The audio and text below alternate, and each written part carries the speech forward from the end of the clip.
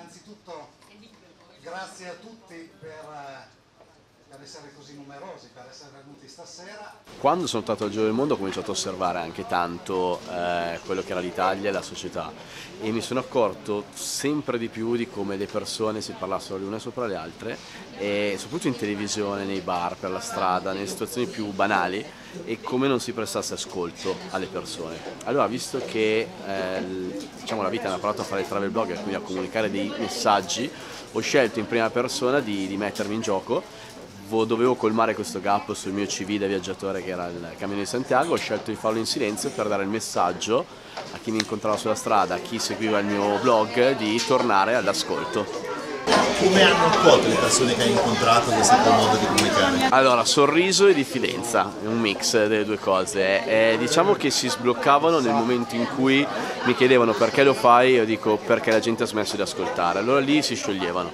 Però all'inizio c'è stata anche molta diffidenza, non è stato semplice. Poi in Italia mi scambiavano per straniero un po' esteticamente, un po' perché un italiano magari non si aspetta che faccia il cammino dall'Italia mi scambiavano per tedesco, mi rivolgevano parole in tedesco che non capivo.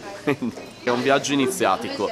Poi è chiaro, dipende come lo fai e credo che la cosa più importante sia partire persone e arrivare pellegrini. Non tutti ora ce la fanno perché è diventato molto, troppo mainstream, però è un viaggio che dà, che dà tantissimo e quindi andrebbero sempre, andrebbe sempre percorso.